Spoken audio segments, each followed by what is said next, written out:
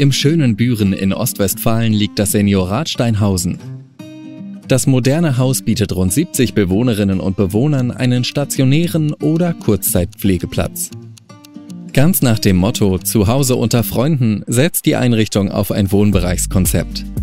Seit 2014 nutzt das Seniorat das Cook and Freeze Verpflegungssystem und arbeitet mit der Appetito AG aus Rheine zusammen. Daher wurde mit dem Neubau der Einrichtung keine Küche mehr berücksichtigt. Es gibt eine Kühlzelle, eine Spülküche und einen Raum zur Kommissionierung.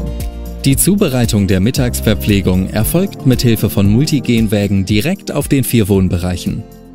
Wir haben uns von vornherein für das Wohngruppenkonzept entschieden und damit auch von vornherein entschieden, keine zentrale Küche einzuführen, sondern über Cook and Freeze und mit unserem Partner Appetito zusammenzuarbeiten, um auf den Wohnbereichen direkt mit den Bewohnern und für die Bewohner zu kochen und äh, das Essen zuzubereiten.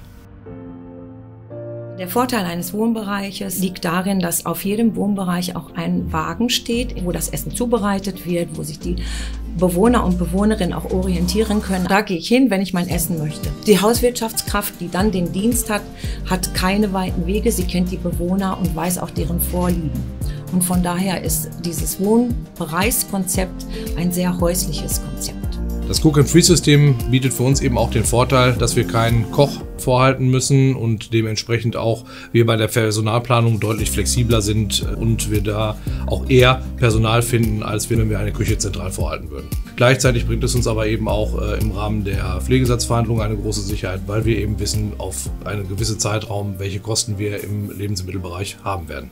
Wenn ich morgen komme, ich gehe ins Froster rein, ich hole Wagen raus, was ich für heute brauche. Es ist alles schon vorpositioniert. Das heißt, da kann man nicht falsch machen. Es wird alles kommissioniert und auf den Wohnwagen gebracht. Das heißt, meine Aufgabe, nur die befüllte Behälter in den Appetitwagen reinschieben, gehen die Türen zu, Start. Fertig. Pünktlich zur Mittagszeit wird das Essen für unsere Bewohner serviert.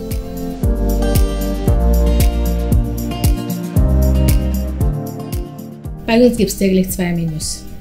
Zusätzlich bietet Firma Appetita für unsere Bewohner pürierte Kost, salzarme Kost oder hochkalorische Kost.